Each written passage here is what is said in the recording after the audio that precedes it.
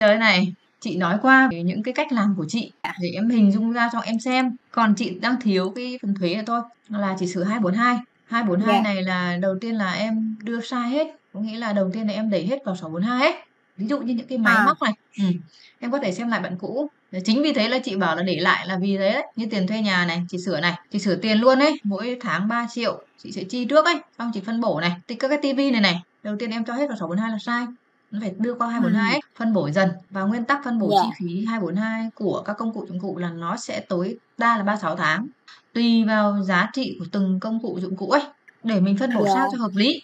Đấy thứ ba là các cái chi phí như phần mềm visa này đầu tiên em cũng cho vào 642 ấy cũng không đúng.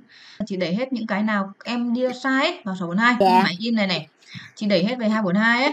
Sau đó thì chị sẽ sửa lại các cái bước của em xong bắt đầu chị thêm bước ấy và phân bổ. Thì khi mà đối chiếu bảng cân đối tài khoản ấy như 242 đây là còn 161 triệu nhá. Đấy 770 Đúng rồi. 015 thì em sẽ vào phần công cụ đây này có cái phần báo cáo này bảng tính phân bổ công cụ dụng cụ này. Sau em đối chiếu luôn cho chị nhá. 0101 này 019 này 31 tháng 12 2019 này. Tức là em có thể kiểm tra kết quả chị làm. Không bảng cân đối tài khoản. Khoan mình ghi lại nhá. 161 này 770 rồi chị sẽ lập bảng lương này sửa hết toàn bộ tiền lương này. Theo Dạ. C12 và phù hợp ấy kéo dài từ 19 cho đến 21 luôn. Nó phải logic chứ không phải năm thì cao năm thì thấp ấy. Thế nên chị sửa lại cái lương này. Đấy riêng năm 2019 này không có bảo hiểm xã hội ấy cho nên sẽ không hạch toán bảo hiểm xã hội. Sửa lại lương này.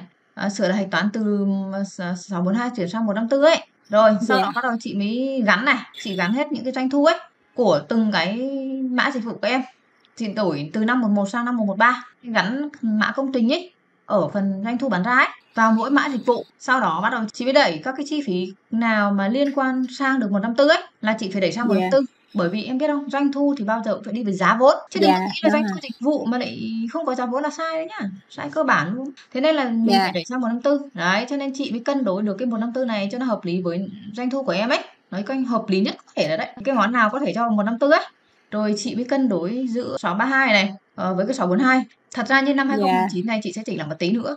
Chị sẽ đẩy cố gắng đẩy được cái 642 này này vào 154 thêm. Là vì sao?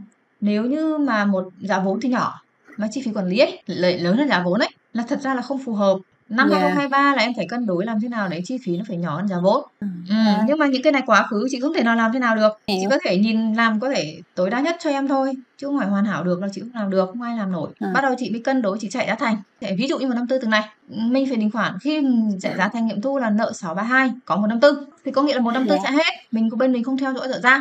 Tạm thời mấy năm này là Dạ. 19 đến 22 là chị không theo dõi dở dang.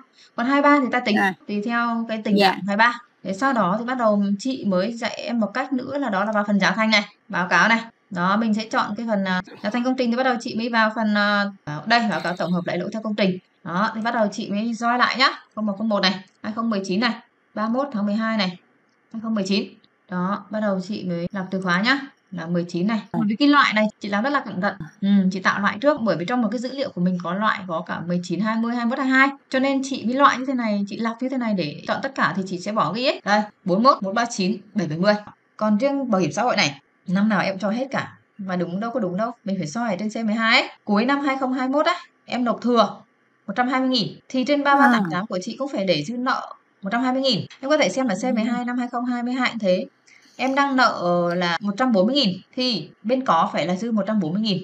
Nhưng năm 2022 còn phần một chút nữa chị chỉnh nốt là sẽ ra được bảo hiểm khớp luôn. Và lương chị sửa hết tại tiền lương ấy. Tiền lương sửa hết lại theo C12 em có thể so sánh bản cũ của em. Thế sau đó 154 của chị này giá thành của chị này 72 này tương ứng này năm 1182 ấy, giá vốn ấy doanh thu Dạ. 82 ấy, giá vốn là 72 ấy, là đẹp này. Với lại một số cái ví dụ như em đưa chị đưa vào xây dựng cơ bản bởi vì em sửa chữa nhà ấy hay Dạ. sửa chữa văn phòng ấy. Mà em đưa vào 242 là sai em phải tập vào với 241 trước sau đó bắt đầu từ 241 đấy. Cách chuyển sang 242 rồi mới được phân bổ. Thì chị cũng vào chứng từ mua dịch vụ trước xong chị đình khoản nợ 642 nợ 133 có 331 trước. Thế sau đó bắt đầu À. chị vào ngân hàng chị mới đình khoản nợ 331 có 112 Là em thì em đang làm tắt. À, tức là chị làm hai bước Ừ. còn em là em làm tắt đi thẳng từ ngân hàng qua luôn. Nó dễ kiểm soát hơn. Ý của chị là em cứ làm chứng từ đợi này chị làm chứng từ đầu vào đầu ra xong ấy. Cái nào mà thông qua ngân hàng Ừ. thì thông qua 331 sau đó bắt đầu mình mới lấy sổ phụ ngân hàng ấy. Thì mình mới đối ứng công nợ nợ 331 có 112 ấy thì nó sẽ khoa học hơn. Ngày hạch toán với ngày chứng từ là cái ngày trên hóa đơn luôn đúng không? Là một đúng ngày. rồi. Đúng rồi là một ngày Rồi. này ngày thuế cũng là ngày ở trên hóa đơn này. Và ở đây là không hạch toán qua 112 mà ở đây em phải bấm chưa thanh toán nha chị này. Đến ngày mùng 9 tháng 6 này bắt đầu đình khoản này. Nợ 331 có 112 em làm như thế thứ nhất vừa kiểm soát không bị sai công nợ. Mà có sai công Ừ. có bị sai công nợ thì mình cũng biết nguyên nhân tại đâu ấy để mình chỉnh cho dễ. Ok nhá à, Đấy, vấn đề thứ Rồi, nhất em em cần làm. Vấn đề thứ hai mà em đang sai cũng là vào chứng từ những cái chi phí nào? Nhá chị thử làm mẫu cho em một cái nhá. Vào mua hàng này Dạ. chứng từ mua hàng nhận thêm này. Thì bây giờ cũng chọn thông tin như bình thường. Đúng về chi rồi, phí dịch rồi. vụ thì ok rồi đấy. Nhưng mà về chi phí công trình ấy em chưa tạo chị sẽ tạo mới cho em ấy. À, tên là chi phí chung thôi. Còn ở đây chị ghi là chi phí này gạch ngang ấy. Ờ, cái CT là công trình còn chi phí. DV là dịch vụ em tạo rồi. Ờ, cái tên này tại rồi. sao chị để mỗi mỗi chữ chi phí thôi bởi vì tí nữa chị sẽ gắn vào ấy từng hóa đơn cụ thể bảo hộ lao động hay là chi phí in ấn hay là chi phí tư vấn thiết kế cho công trình ấy thì mình sẽ lắp Dạ. cái đoạn đằng sau vào ấy thế nên là cái Rồi. tên thì chị để chung chung thôi lơ lửng thế thôi mã chị để là chi phí công trình nhóm là DV nhấn cất này thì cái visa online nói Ừ. chung là nó sẽ cũng giao diện như visa offline thôi nhưng mà sẽ khó nhìn hơn một chút đây chi phí mình chỉ ghi chi phí đây là ờ, chi phí tư vấn thiết kế em hiểu rồi theo ừ. hóa đơn số à, càng chi tiết chị là làm việc kế toán là nói chung em làm cho công ty em ấy thì tốt nhất là em cứ làm cho cẩn thận à, hay theo hóa đơn số bao nhiêu? Tí nữa nó in À. sổ sách ra sổ cái ra nó cũng sẽ thể hiện đó là hóa đơn số bao nhiêu. Thì tí nữa mình lọc tìm cho dễ. Tất nhiên là bên phần hóa đơn cũng đã ghi rõ rồi. Nói chung chị Ừ. hay ghi là chi phí thiết kế theo số hóa đơn số nhá. À, nợ này nếu như chị nhỡ vào phân hệ mua hàng nhập kho thì chị phải chọn đây là mua hàng. Mua hàng không qua không kho. qua kho. Ừ, chị Ừ. cũng hay sử dụng phân hệ này 154 nhưng mà xử lý cho chị là nợ 154 số lượng ví dụ như là 10 triệu đồng tư vấn thiết kế cho công trình ABC chẳng hạn đi. Thuế suất là 8% chẳng hạn năm 2023 tài khoản thuế giá trị tăng là một. Khi mà em chọn mua hàng không qua kho thì nó sẽ có một chi phí bên cạnh như này. À, ví dụ như em muốn chọn công trình luôn nhá. Nhưng Ừ. em muốn thêm cái mục gì ở trong cái phần hạch toán của em ấy liên quan đến công trình. Bởi vì năm 2023 Ừ. của em ấy là nó phải nó gắn sẽ có công trình. Ừ nó sẽ gắn từng công trình và khoản mục chi phí liên quan theo thông tư 133 à, thế thì đối với visa offline thì họ sẽ có cách thao tác khác một chút. Còn visa online em vào cái phần bánh răng này. Đấy em muốn thêm cái gì đây ấy? Ừ, trong đầu mình dạ. muốn thêm cái gì thì mình chỉ lọc một từ thôi. Đừng có lọc dài. Giống như kiểu mà mình lọc excel cũng thế thôi lọc dài làm sao lọc được? Ví dụ như chị muốn lọc cái công trình lên đánh chữ trình này. Còn lúc nãy Dạ. em của em không có đâu đó xong bây giờ chị Dạ. muốn thêm cái gì đã là 154 theo 133 ấy thì phải gắn với khoản Dạ. mục chi phí thì chị sẽ đánh này khoản này mục này hoặc là chị đánh chữ phí nhá bởi vì các năm trước em không liên quan đến giá thành em đang làm sai hướng rồi. cho nên em không dùng đến cái tài khoản 154 riêng tài khoản 154 thì phải có điều kiện cần nhá là phải có khoản mục chi phí đầu từ nợ 154 còn Dạ. đối ứng Dạ với rồi. cái gì chị chưa nói với thông tư 133 vì em đang làm 133 mà. Phải. Có này khoản mục chi phí. Còn nếu mà đưa cho công trình nào thì chọn cả công trình luôn. Tức là nếu biết cái mục này cái chi phí này là của công trình nào thì mình sẽ gắn luôn vào công trình đó luôn. Thế còn Dạ, nếu như rồi. cái công trình này mà em chưa chắc chắn là cho vào công trình nào cả thì em bỏ trống cho chị tên công trình. Nhưng điều kiện cần mà thì vẫn phải có khoản mục chi phí. Nếu như một nợ 154 mà không chọn khoản mục chi phí thì không tính được giá thành nghĩa là nó sẽ không Dạ rồi. đưa chi phí để vào giá vốn 632 khi kết chuyển tính giá thành kéo con chuột sang bên Dạ phải rồi. đó khi nãy kéo đâu có đâu à, giờ nó có khoản một chi chị phí vừa mới Rồi. lôi cho em lên đấy mà em chị lôi rồi thì lần sau em không phải lôi nữa khoản mục chi phí là gì này thứ nhất này nếu nguyên vật liệu thì chọn là nguyên vật liệu Rồi.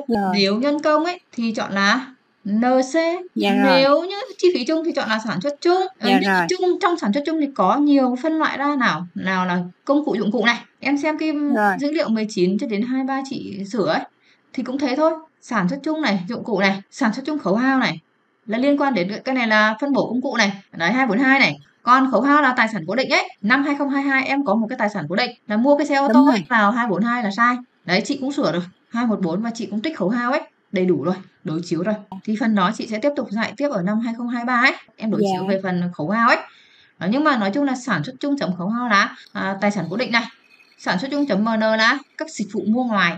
Ví dụ như là bảo hộ lao động ấy những cái gì không thuộc vật tư này không thuộc nhân công này không thuộc máy thi công này không thuộc khấu hao thì là mua ngoài. Thì em chọn khoản mục tiêu chí là mua ngoài. Thế nếu công trình nào em em có rồi thì em chọn luôn đây công, công trình tạo các năm quá khứ đấy. Thế còn năm hiện Dạ. tại thì tí nữa chị sẽ hướng dẫn em cách tạo mã công trình.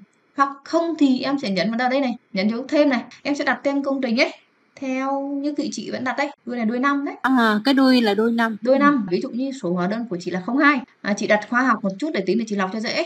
Ship trừ DV là dịch vụ ngày 21 tháng 12 năm 22 hóa Dạ. đơn 02 thế ví dụ như sang năm 2023 ấy công trình thì nó sẽ có thể là nó kéo dài sang, từ năm này sang năm khác ấy. thì em phải đặt này CT là công trình DV là dịch À. vụ còn CT là công trình ví dụ em đặt là công trình 01 này ký ngày ngày số 01 này à, Dạ. 2023 Vâng, ừ, thì rồi. em chỉ đặt là công trình 01 2023 thôi chứ không đặt số hóa đơn phía trước nữa đâu Thì chị tạo mới giúp em luôn đi ví dụ giờ Ừ. năm năm năm 2023 nè thì mình đang ở trong trong phong mục 2023 đúng không chị ừ. thì em muốn thêm mới một cái công trình nhưng mà cho em hỏi là thì nãy chị hướng dẫn em á là cái cách đặt tên tên của công trình thì mình sẽ đặt tên là cái công trình này là công trình thi công nha chị. Công trình này là công ty muốn xuất hóa đơn của công trình thi công. Thì Ừ. mình sẽ đặt là công trình thi công là CT rồi tới ờ, 01 là công trình số, Số đấy. 01 của năm 2023 đúng rồi xong rồi tới 2023 là của năm Ừ. 2023 ừ, đúng rồi. Là mình sẽ tập hợp cái chi phí ờ, 154 này vô toàn bộ cái công trình này đúng chị? đúng rồi thế sang năm 2024 thì cũng thế để gọi là cái công trình này bắt đầu từ ngày tháng năm nào thì tốt nhất là em đặt thế này này CT này 01 này Dạ, chấm dạ rồi, giả sử ký ngày à, 22 này tháng 10 này năm 23 ấy dạ đúng rồi. không thì em đặt này Rồi, CT đúng rồi. 01 này 22 này chấm 10 này chấm 23 nhìn một cái thôi là biết ngay công trình này nó thi công từ ngày nào À rồi, ok. nhấn dấu cộng vào đây vào đây thì mình sẽ ghi này mã công trình ở đây tên công trình đây và tình Dạ. trạng là đang hoạt động này dự toán là bao nhiêu tỷ ấy? Điền vào đây. À. ngày bắt đầu ngày kết thúc ấy. Điền vào đây. Chủ đầu tư tên là ai ấy? Diễn giải có lưu ý gì ấy? Rồi, thì mình lưu ý.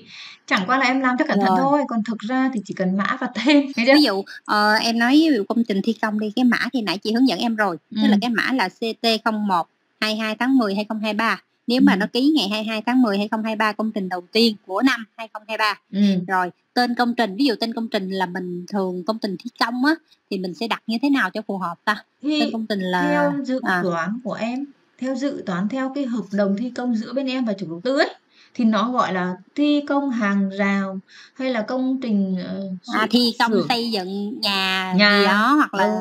sửa chữa gì đó thì nó sửa theo cái chữa nội dung của em Ừ. với ờ, Đúng. với ờ, ký với khách hàng đúng không chị đúng rồi chính xác nội dung với chủ đầu tư mã tên rồi cũng ghi luôn là tên là ờ, công trình sửa chữa hàng rào hay là công trình ờ, mương máng hay công trình trường học ừ, theo hợp đồng số vẫn phải nói lại là À. 01 02 20 01 22 tháng 10 2023 đúng không mã thì ngắn gọn còn ok, tên thì diễn lại lại cái nội dung của nó tình trạng của nó đang làm sao ấy thì mình theo dõi riêng ở chỗ khác hiểu dạ, rồi đúng không rồi em hiểu rồi, chị sẽ dạy từ từ dạy hết cho em. Còn bây giờ này, tiếp theo ấy là chị sẽ hướng dẫn cho em cái hóa đơn mua vật tư ấy. dạ Tức là bây giờ em cứ nhập vào kho vật tư cho chị. Tí nữa chuyển Rồi. sang công trình ấy, chị sẽ dạy em chỉnh sửa sau.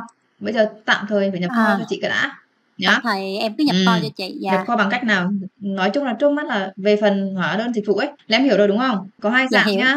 Một là dạng là 642 thì vào dịch vụ kia ấy, đẩy 642 ừ, qua 331 đấy. Còn cái dạng thứ hai là chi phí 154 này thì phải gắn thêm khoản mục và tên công trình tương ứng ấy. Còn nếu cái công trình nào Dạ không có thì bỏ qua công trình đi để nó phân bổ chung cho các công trình. Có nghĩa công trình nào cũng được hưởng chi phí đó. Trừ tiền điện, tiền nước ra thì chắc chắn là xóa chi phí rồi ấy. Không sai. Thì ok. Em cho vào phân hệ mua dịch vụ. Thế còn bây giờ về vật tư này.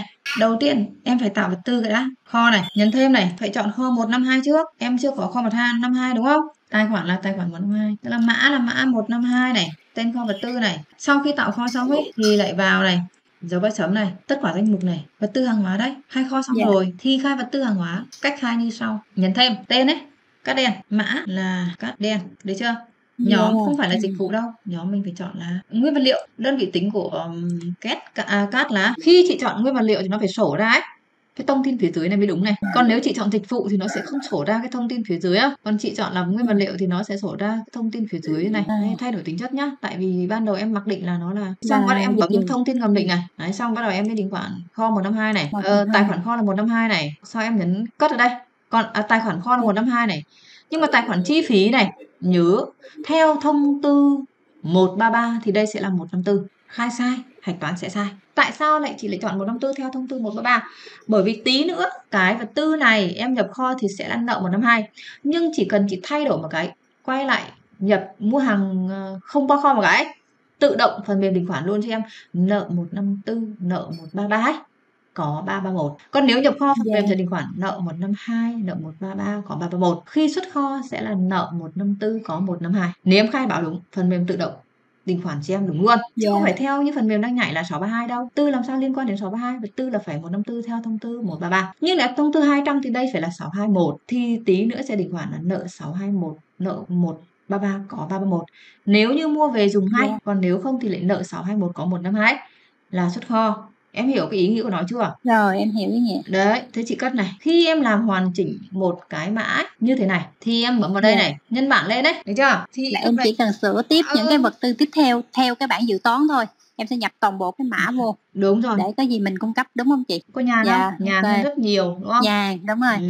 Là chị chị hướng dẫn em cái cái cái đầu tiên sau đó em sẽ dựa theo cái bảng dự toán em nhập toàn bộ cái ờ, vật tư theo dự toán vô trong Rồi. nó thành cái danh mục luôn rồi ok chị Thì ví dụ như đây là sang bên kéo con chuột sang bên phải này. Thì đây chi phí là nguyên vật liệu Dạ. cho công trình ABC Rồi. nào thì mình chọn luôn, hiểu không nào? nếu mà em muốn đưa vô cái công trình ờ, thi công của năm 2023 thì em tạo cái khoản mục chi phí công trình em tạo khoản mục chi phí này xong rồi em hạch toán cái phần đó là em đưa vô luôn Khoản mục chi phí có sẵn, em chỉ tạo tên công trình thôi.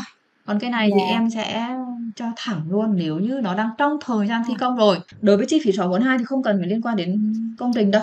Bởi vì đang nhập trong kho chưa biết là đưa vào đâu cả. Khác với 154, nghĩa là không đình khoản 154 thì em đừng quan tâm đến khoản mục chi phí và tên công trình nữa. Còn Rồi. chỉ có 154 thì mới hiểu là phải có khoản mục chi phí và công trình liên quan nếu có.